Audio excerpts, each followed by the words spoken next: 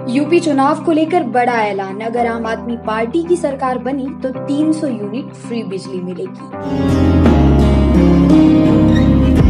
दिल्ली के उप मुख्यमंत्री मनीष सिसोदिया ने लखनऊ में प्रेस कॉन्फ्रेंस करते हुए एक बड़ा ऐलान किया है।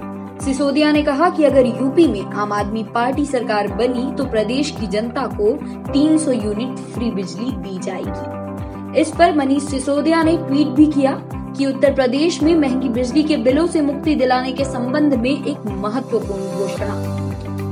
आम आदमी पार्टी की सरकार बनने के बाद 24 घंटे के अंदर हर आदमी को घरेलू उपयोग के लिए 300 यूनिट तक बिजली फ्री मिलेगी।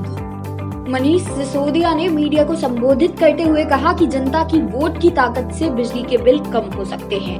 उन्होंने कहा कि यूपी में हमारी सरकार बनने के 24 घंटे के भीतर 300 यूनिट तक के बिजली के बिल जारी हो जाएँगे। साथ ही उन्होंने कहा कि प्रदेश के किसानों के बकाया बिजली बिल के बिल भी माफ़ किए जाएँगे।